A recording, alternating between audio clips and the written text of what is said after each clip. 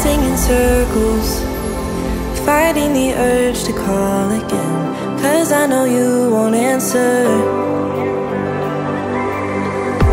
So what's the point in letting my thoughts in your space?